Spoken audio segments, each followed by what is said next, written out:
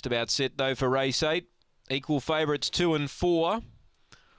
They're set away. Dakota Roxy a bit slow. She's trying to master. There's more speed from Two Hands George.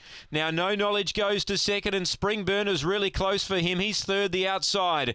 A length away was Holy Rain. She's got her position too. Fourth the rail. Three lengths away to Blister and they've broken the field right up. Dakota Roxy, Aston Odyssey are out the back and Rogue Planet last of all. Well, Two Hands George is doing it well. Still two in front. Holy Rain's going to be the late threat along the rail but Timmy Richards, I reckon he's got the treble all right he has.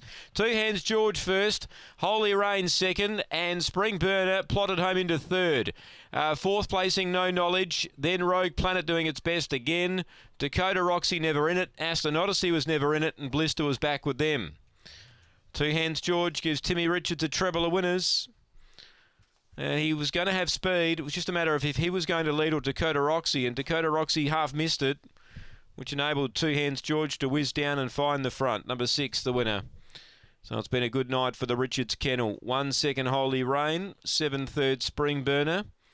And number three, No Knowledge, hangs on for fourth in front of the fast finishing Rogue Planet. Margins here, three and a half by a head. 30 and 72 the gallop. It's a new PB for the winner. So a good night for Timmy Richards. We stand by for the all clear. Tim's still got Jervois Boy still to come, so he's looking at possibly a four uh, fourth winner here tonight. 6173 after race eight.